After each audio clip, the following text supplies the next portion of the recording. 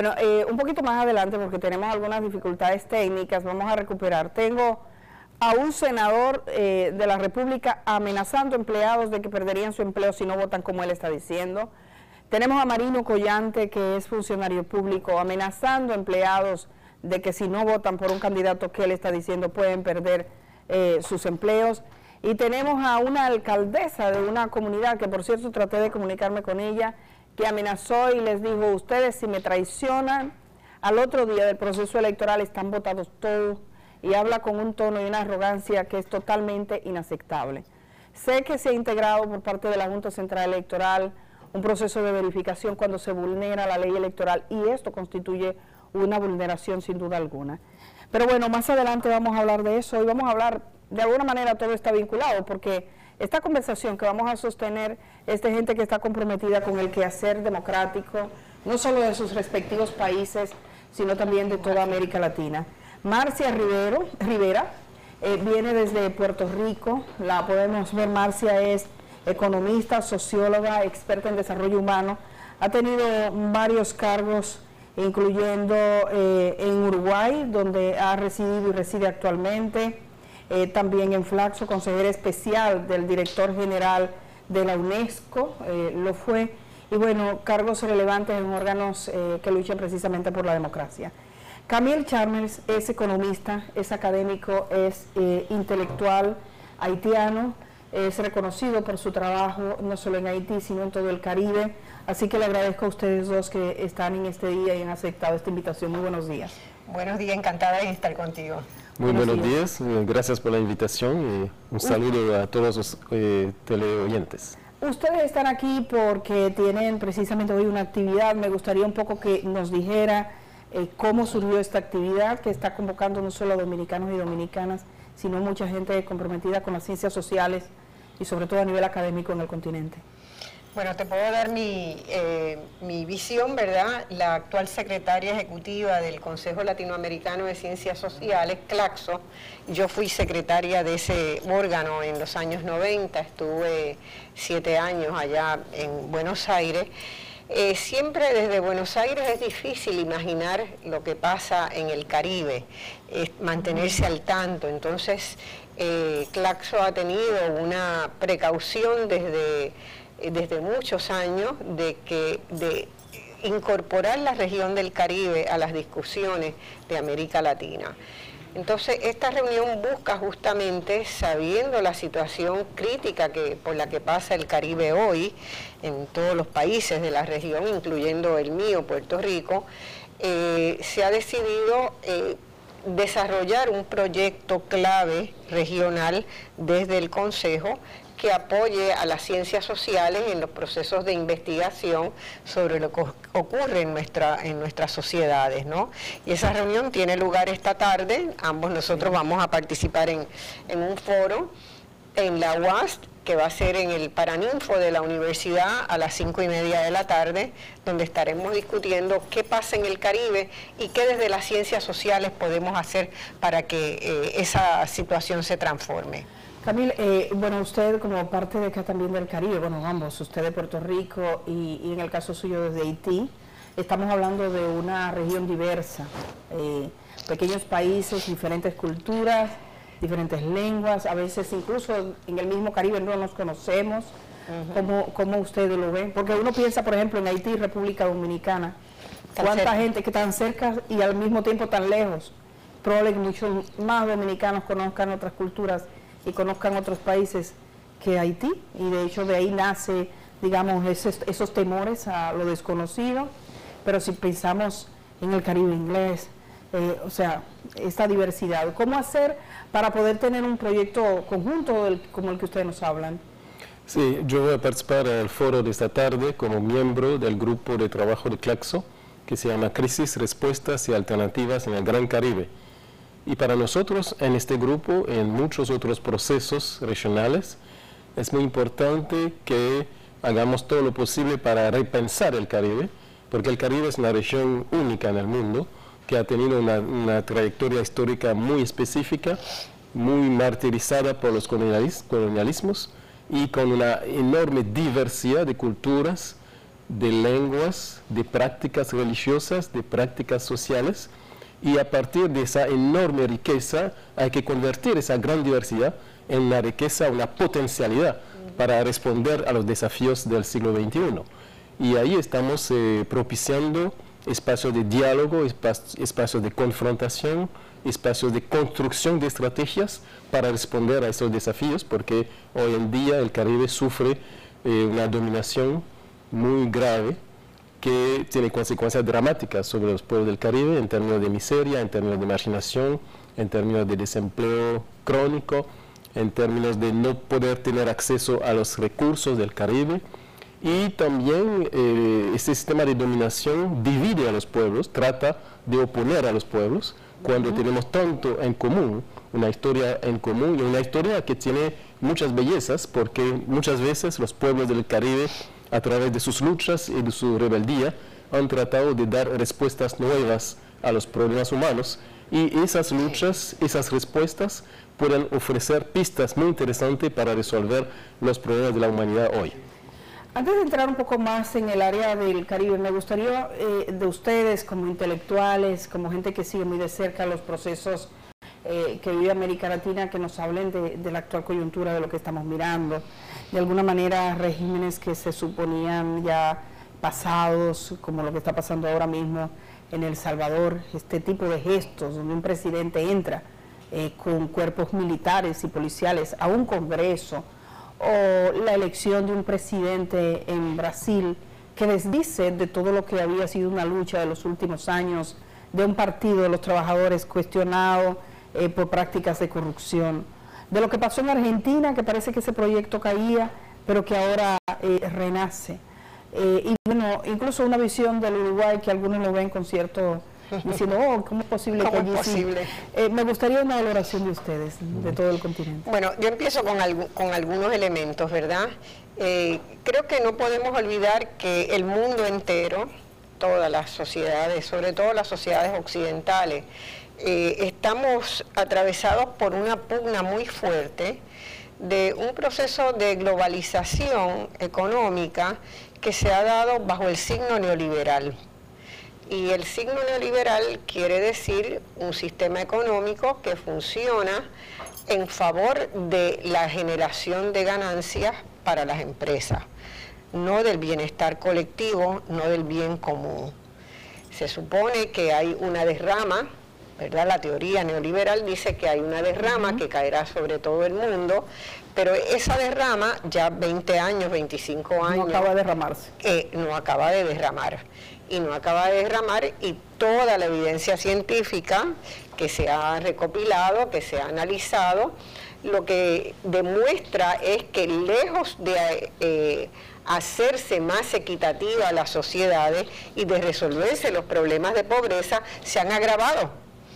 Hay más desigualdad hoy, hay más desigualdad adentro de los países, hay más desigualdad entre países y además el nivel de pobreza ha seguido persistente en todos los países. En algunos países ha habido esfuerzos muy grandes como esos que tú este, mencionabas, en la Argentina, en Brasil, en Uruguay, y hoy están amenazados.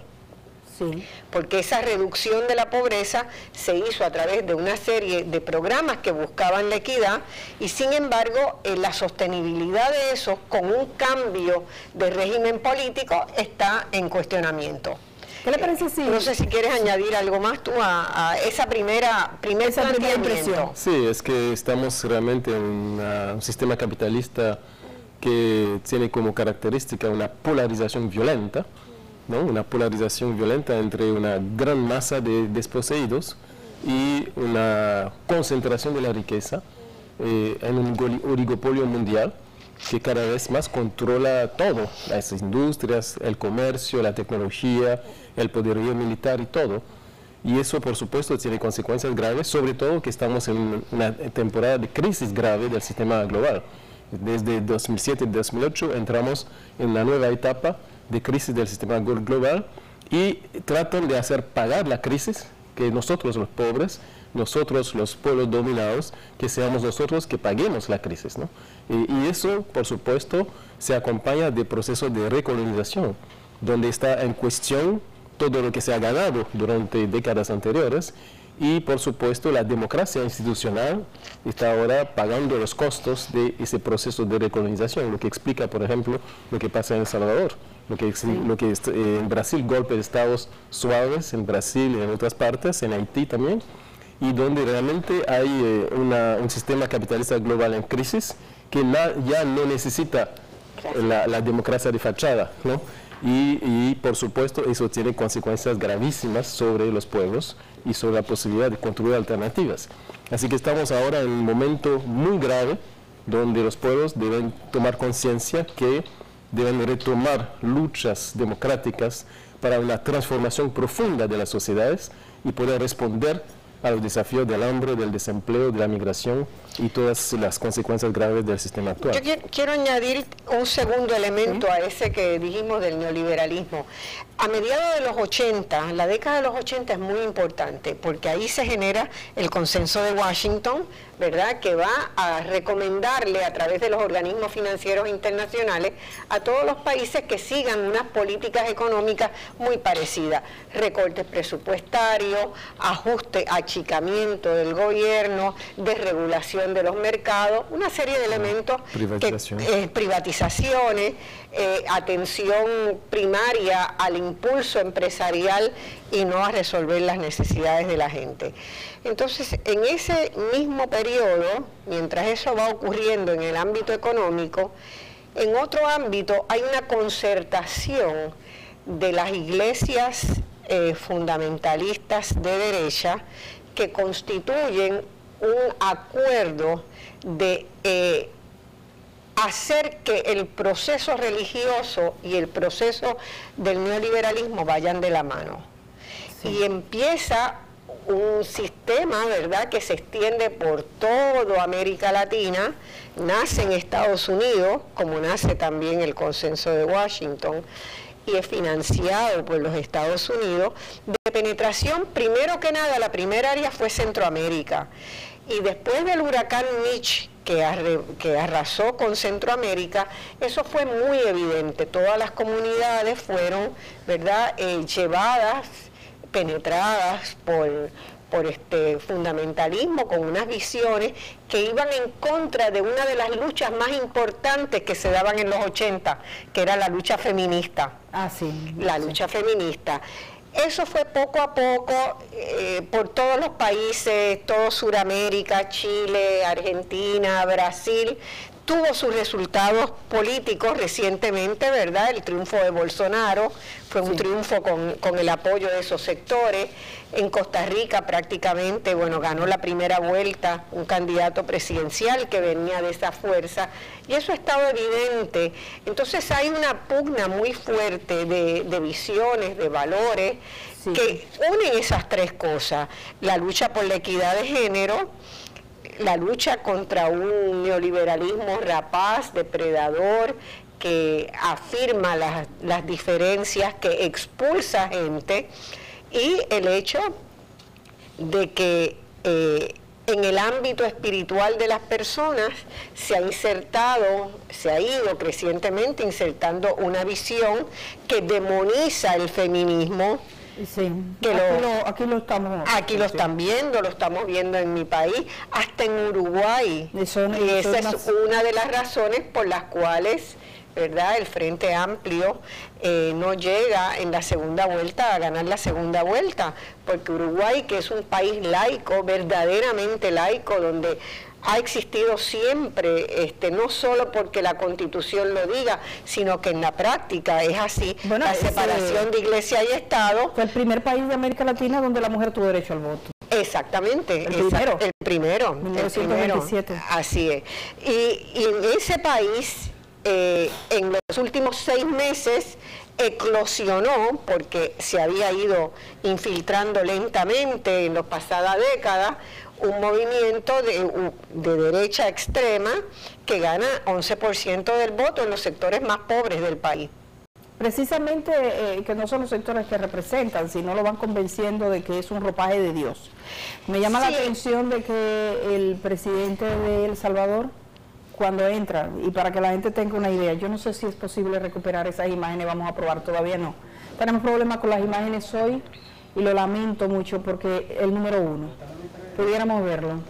Él entra con los militares y los policías sí. directamente a la sala del Congreso. Imagínense ustedes el Congreso de República Dominicana, que llegue el presidente de la República con todos sus guardias y se sienta donde va el presidente del Congreso.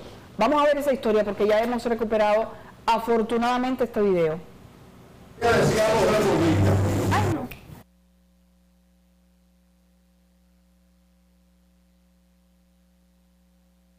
Ese es, eso lo pusimos antes, recuerden que esto fue del reformista, que nada tiene que ver todavía, afortunadamente, con la presidencia del país, porque ahí está amenazando empleados públicos, ese Marino Collante. Bukele, se llama Bukele, que es el presidente del Salvador. ¿Lo tenemos? El presidente de El Salvador, Nayib Bukele, irrumpió este domingo en el Parlamento, escoltado por militares y policías fuertemente armados, esterificando la crisis interna y el pulso sin precedentes que se está viviendo en el país centroamericano. Bukele fue al Congreso para pedir a los diputados la aprobación de un préstamo de 109 millones de dólares para financiar su plan contra las pandillas, llamando incluso a la insurrección popular si el legislativo no da el brazo a torcer. Ante la imposibilidad de votar el crédito, pues solo estaban presentes 20 de los 84 diputados, el mandatario pronunció una oración desde la tribuna antes de dirigirse a las miles de personas. Y precisamente, bueno, ahí cuando está hablando que dice, esos sinvergüenzas del Congreso, dice, eh, invoca a Dios, y va invocando a Dios, y en nombre de Dios violando la democracia. ¿Qué pasa esa mezcla ahora que Bueno, eh, por, e, por, eso digo, hay muchos frentes de lucha abiertos, ¿verdad? Hay una lucha de la sociedad en su conjunto, como, como eh, Camil decía, por la equidad de lucha por el derecho a una vida digna, a los derechos humanos fundamentales, y la gente está clamando eso. Pero hay otra gente que le está diciendo, eso te lo va a dar Dios, no te lo va a dar la, economía, ni la lucha política, ni el feminismo. Ni la igualdad. Eh, para mí, una de las cosas que me dejó realmente anonadada, yo no pensé ver eso en mi vida, fue que el presidente de los Estados Unidos, el martes pasado, le diera la medalla más importante que concede la presidencia de los Estados Unidos a un personaje que es un comentarista de radio que lleva dos décadas despotricando contra el movimiento de mujeres, fue el que crea el concepto de feminazis, de que el feminismo es feminismo nazi, de que las mujeres, a él le encanta el movimiento de mujeres si va detrás de las mujeres, si está detrás de las mujeres, porque lo que le gusta es el movimiento del cuerpo.